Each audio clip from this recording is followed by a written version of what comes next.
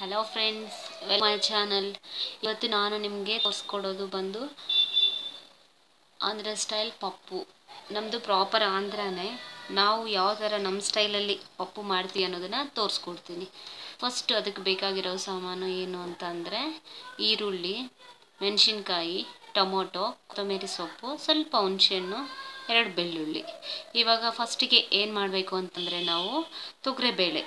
ಒಂದೂವರೆ ಗ್ಲಾಸಷ್ಟು ನಾವು ಅದಕ್ಕೆ ಹಾಕಿ ಕುಕ್ಕರಲ್ಲೇ ತೊಳಿಬೇಕು. ತೊಳೆದ್ಮೇಲೆ ಒಂದು ಎರಡು ಮೂರು ನಾವು ಟೊಮೊಟೊ ಕಟ್ ಮಾಡಿ ಇಟ್ಕೊಂಡಿದ್ದೀವಲ್ಲ, ಟೊಮೊಟೊ ಮತ್ತು ಮೆಣಸಿನ್ಕಾಯಿ ಮತ್ತು ಈರುಳ್ಳಿ. ಆಮೇಲೆ ಕೊತ್ತಂಬರಿ ಸೊಪ್ಪು. ಕೊತ್ತಂಬರಿ ಸೊಪ್ಪು ಹಾಗೆ ಹಾಕಿದ್ರೂ ಏನು ತೊಂದರೆ ಇಲ್ಲ. ಆಮೇಲೆ ಸ್ವಲ್ಪ ಹುಣಸೆಹಣ್ಣು ಜೊತೆಗೆ ಹಾಕಬೇಕು. ಆಮೇಲೆ ಚೆನ್ನಾಗಿ ನಾವು ಫಸ್ಟಿಗೆ ತೊಳೆದು ಮೆಂತ್ಯ ಸೊಪ್ಪನ್ನ ಒಂದು ಬೌಲಲ್ಲಿ ನೀರಲ್ಲಿ ಹಾಕಿ ಇಡಬೇಕು. ಅದನ್ನು ಜೊತೆಗೆ ಹಾಕಬೇಕು. ನೋಡಿ ಯಾವ ಥರ ಹಾಕ್ತಾ ಇದ್ದೀವಿ ಅನ್ನೋದನ್ನು. ಹಾಗೆ ತೊಳೆದು ಹಾಕಿದ್ರೂ ಪರವಾಗಿಲ್ಲ. ಅದಕ್ಕೇನು ಸಣ್ಣ ಕಟ್ ಮಾಡಿ ಹಾಕಬೇಕು ಅಂತ ಏನೂ ಇಲ್ಲ. ಓಕೆನಾ? ನೋಡಿ ಆ ಥರ ಹಾಕಬೇಕು. ಆಮೇಲೆ ಅದೆಲ್ಲ ಹಾಕಿದ ಮೇಲೆ ನಾವು ಅದಕ್ಕೆ ಏನು ಮಾಡಬೇಕು ಅಂದರೆ ನೀರು ನೋಡ್ಕೋಬೇಕು. ಸ್ವಲ್ಪ ಬೆಳ್ಳುಳ್ಳಿನೂ ಅದ್ರ ಜೊತೆಗೆ ಹಾಕಿ, ಪರವಾಗಿಲ್ಲ. ಒಂದು ಬೆಳ್ಳುಳ್ಳಿ ಅಷ್ಟು. ನೀರು ನೋಡ್ಕೋಬೇಕು. ಎಷ್ಟು ಕನ್ಸಿಸ್ಟೆಂಟಿ ಇದೆ ಅನ್ನೋದನ್ನು ನೋಡ್ಕೋಬೇಕು. ನೀರು ಸ್ವಲ್ಪ ಬೇಕು ಅನ್ನೋದಾದರೆ ಸ್ವಲ್ಪ ನೀರು ಆ್ಯಡ್ ಮಾಡ್ಕೊಳ್ಳಿ. ಏನೂ ಆಗಲ್ಲ. ನೋಡಿ, ಆ ಥರ. ಕರೆಕ್ಟಾಗಿ ಆ ಕನ್ಸಿಸ್ಟೆನ್ಸಿ ಇರಬೇಕು.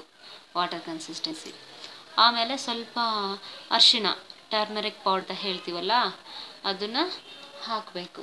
ಅದ್ರ ಜೊತೆಗೇ ನೋಡಿ, ಅಷ್ಟು ಹಾಕಬೇಕು. ಬೇಕಾದರೆ ಇನ್ನು ಸ್ವಲ್ಪ ಹಾಕೊಳ್ಳಿ. ಅದರಲ್ಲಿ ಏನೂ ಇಲ್ಲ. ಆಮೇಲೆ ಇವಾಗ ಆಯಿಲ್ ಆಯಿಲ್ ಯಾಕೆ ಹಾಕಬೇಕು ಅಂತಂದರೆ ಮೇಲಕ್ಕೆ ಕುಕ್ಕರೆಲ್ಲ ಗಲೀಜಾಗಿ ಉಕ್ಕಲ್ಲ ಮೇಲೆಗೆ ಬಂದು ಪ್ರೆಸರ್ ಎಲ್ಲ ಮೇಲೆಗೆ ಬರಲ್ಲ. ಮತ್ತು ಬೇಗನೂ ಬೇಯುತ್ತೆ. ಆ ರೀಸನಿಂದ ನಾವು ಸ್ವಲ್ಪ ಎಣ್ಣೆನೂ ಜೊತೆಗೆ ಆ್ಯಡ್ ಮಾಡಿ. ಅಷ್ಟೇ.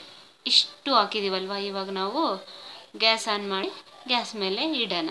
ಅದು ಚೆನ್ನಾಗಿ ಬೇಯಬೇಕು ಒಳಗಡೆ. ನೋಡಿ, ಈಗ ಮುಚ್ಚೋಣ. ಅಷ್ಟೇ. ಈಗ ಒಂದು ಐದು ವಿಸಿಲ್ ಬರಬೇಕು. ನೋಡಿ, ಆ ಥರ ವಿಸಿಲ್ ಬರ್ತಾ ಇದೆಲ್ಲ ಆ ಥರ ಬೇಕು. ಆಮೇಲೆ ನೋಡಿ ಇಟ್ಬಿಟ್ಟು ನೋಡಿದ್ರೆ ಈ ಥರ ಒಳಗಡೆ ಬೆಂದಿರುತ್ತೆ. ಅದನ್ನು ನಾವು ಏನು ಮಾಡಬೇಕು? ಇವಾಗ ಮಸಿತೀವಲ್ವ ನಾವು? ಅದನ್ನು ತಗೊಂಡು ಒಂಥರ ನುಣ್ಣಗೇನು ಮಾಡಬಾರ್ದು, ಒಂಥರ ಗಟ್ಟಿಯಾಗಿ ಮಾಡಬಾರ್ದು. ಒಂದು ಮೀಡಿಯಮಲ್ಲಿ ಮಾಡಬೇಕು. ನೀರನ್ನ ನೀರು ಇರುತ್ತಲ್ಲ, ಆ ನೀರನ್ನು ಒಂದು ಸಪ್ರೇಟಾಗಿ ಸಪ್ರೇಟ್ ಮಾಡಬೇಕು ಅದನ್ನು. ಯಾಕೆ ಮಾಡಬೇಕು ಅಂತಂದರೆ ನೀರು ಜೊತೆಗಿದ್ರೆ ಅದು ಸರಿಯಾಗಿ ನಾವು ಮಸಿಯೋಕ್ಕೆ ಆಗಲ್ಲ. ಮೇಲೆ ಎಲ್ಲ ಬೀಳುತ್ತೆ. ಆ ರೀಸನಿಂದ ನಾವು ನೀರನ್ನು ಸಪ್ರೇಟ್ ಮಾಡಬೇಕು. ಇವಾಗ ನೋಡಿ ಆ ಥರ ಚೆನ್ನಾಗಿ ಅದು ನೈಸಾಗಿ ಮೆತ್ತಗೆ ಮಾಡಬೇಕು. ನೋಡಿ ಆ ಥರ ಆಗುತ್ತೆ. ಅಷ್ಟೇ. ಅಷ್ಟಾದರೆ ಸಾಕು. ತುಂಬ ನೈಸಾಗಿ ಏನೂ ಬೇಕಾಗಿಲ್ಲ. ಓಕೆನಾ? ನೆಕ್ಸ್ಟ್ ಇವಾಗ ನಾವು ನೀರು ಸಪರೇಟ್ ನೆಕ್ಸ್ಟ್ ಇವಾಗ ನಾವು ಏನು ಮಾಡಬೇಕು ಅಂತಂದರೆ, ನಾವು ಸಪ್ರೇಟ್ ಮಾಡಿದೀವಲ್ವಾ ಅದರಲ್ಲಿರೋ ವಾಟರ್ನ ಅದನ್ನು ಅದಕ್ಕೆ ಆ್ಯಡ್ ಮಾಡಬೇಕು. ಅದೇ ನೀರನ್ನ ಆ್ಯಡ್ ಮಾಡಬೇಕು. ಯಾಕಂದರೆ ಎಕ್ಸ್ಟ್ರಾ ನೀರು ಮೇಲೆ ಹಾಕಿದರೆ ಅದು ಟೇಸ್ಟ್ ಬರಲ್ಲ. ಯಾಕಂದರೆ ಅಲ್ಲಿ ಸಾಂಬಾರಲ್ಲಿ ಏನು ಉಳಿದಿರುತ್ತೋ ಆ ನೀರನ್ನೇ ಹಾಕಬೇಕು. ಒಗ್ಗರಣೆಗೆ ಇಷ್ಟು ನಾವು ರೆಡಿ ಮಾಡ್ಕೋಬೇಕು.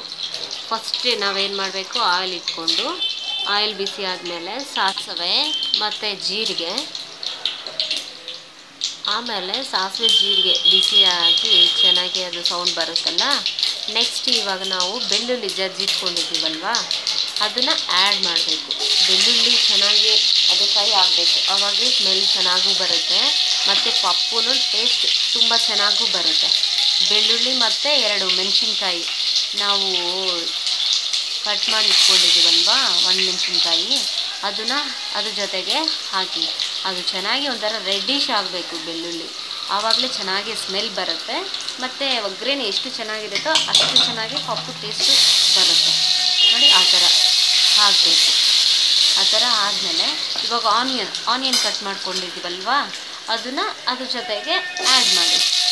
ಇವಾಗ ಅದೆಲ್ಲ ಚೆನ್ನಾಗಿ ಫ್ರೈ ಆಗಬೇಕು. ಒಂಥರ ಗೋಲ್ಡನ್ ರೆಡಲ್ಲಿ ಬರಬೇಕು.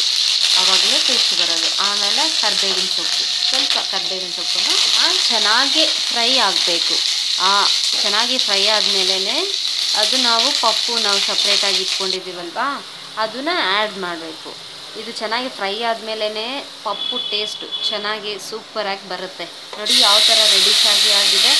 ಇವಾಗ ನಾವು ಪಪ್ಪು ಇಟ್ಕೊಂಡಿದ್ದೀವಲ್ವಾ ಸೈಡಾಗೆ ಅದನ್ನು ಆ್ಯಡ್ ಮಾಡಿ.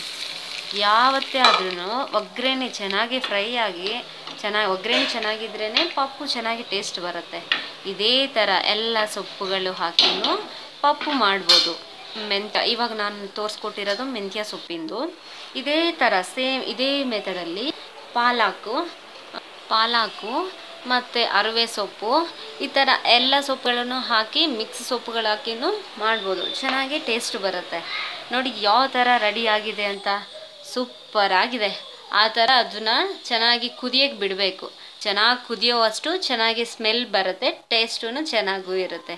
ನೋಡಿ ರೆಡಿಯಾಗಿದೆ ನಮ್ಮ ಆಂಧ್ರ ಸ್ಟೈಲ್ ಪಪ್ಪು.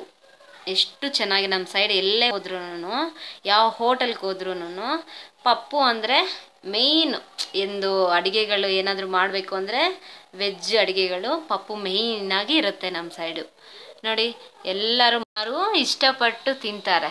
ಪಪ್ಪು ಅಂದರೆ ಸಾಕು ನಮ್ಮ ಸೈಡ್ ಮಕ್ಕಳು ಅವಾವ್ ಪಪ್ಪ ಇವತ್ತು ಅಂತ ಎಷ್ಟು ಇಷ್ಟಪಡ್ತಾರೆ. ದೋಸೆಗೂ ಚಪಾತಿಗೂ ರೈಸ್ಗೂ ರೊಟ್ಟಿಗೂ ಎಲ್ಲದಕ್ಕೂ ಕಾಂಬಿನೇಷನ್ ಆಗಿ ಚೆನ್ನಾಗಿರುತ್ತೆ. ನೋಡಿ ಈ ಥರ ದೋಸೆಗೆ ಒಳಗಡೆ ಹಾಕಿ ಮಾಡಿದರೆ ಸೂಪರಾಗಿರುತ್ತೆ. ರೆಡಿ ರೆಡಿ ಆಗಿದೆ. ಆಂಧ್ರ ಸ್ಟೈಲ್ ಪರ್ಫೆಕ್ಟ್ ಪಪ್ಪು. ಟೇಸ್ಟೂ ಪರ್ಫೆಕ್ಟ್ ಆಗಿರುತ್ತೆ. ಇಷ್ಟು ಇವತ್ತಿನ ವಿಡಿಯೋನ ಇಷ್ಟ ಆದರೆ ಲೈಕ್ ಮಾಡಿ ಕಾಮೆಂಟ್ ಮಾಡಿ ಶೇರ್ ಮಾಡಿ. Please subscribe my channel. Thank you for watching. Bye-bye.